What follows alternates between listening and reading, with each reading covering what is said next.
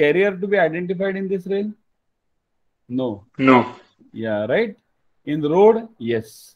And there was one more document where carrier need not be identified. One more transport document. Anyone remembers?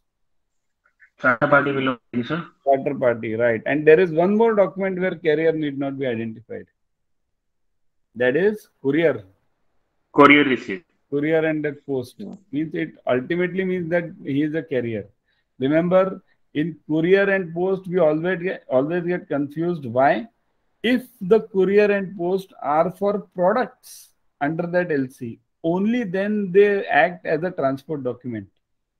If that courier and post are for some documentation purpose, sending the documents here and there, they are not to be checked as per this UCP article. Understand this, they are to be checked as per the other documents, Article 14. This is very clear distinction which we have to follow